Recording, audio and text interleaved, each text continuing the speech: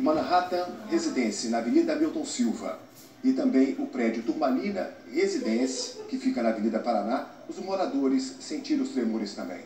Já nas faculdades Fabran, aqui em Macapá, e Unip, em Santana, os tremores foram mais fortes e os alunos tiveram que evacuar as salas com medo de desabamento.